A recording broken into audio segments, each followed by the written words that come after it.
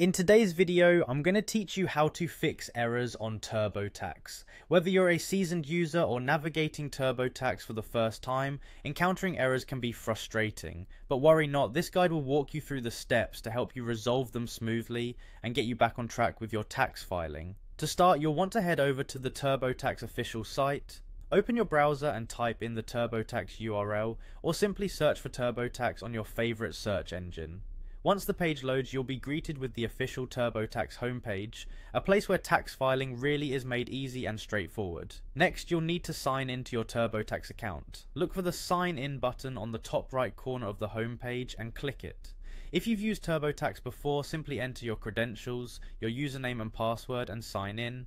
This will take you to your TurboTax home. If you've forgotten your password or need to create a new account, you'll find helpful links to guide you through the process. Once you're signed in and on your TurboTax home, navigate to the Tax Tools option. You'll find this on the left hand side of the screen. Clicking it will expand a menu with several options. This is where TurboTax provides you with the more technical aspects of the tool, offering solutions to common issues users might face. From the expanded menu, click on Tools. This option will lead you to a variety of great features that can help streamline your filing process. It's a useful tab for any TurboTax user, especially when you need to go beyond the basics to resolve issues or customize your filing experience. Now, if you find yourself amidst errors that seem unsolvable, or you've gone too far down a path and want to start afresh, TurboTax provides a handy feature called Clear and Start Over.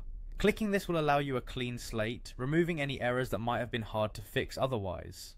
Before proceeding, ensure that starting over is the best option for you, as this will erase your current progress. After clicking on clear and start over, TurboTax might prompt you for confirmation, asking if you're sure you want to clear your process. Simply click yes if you're ready to start anew.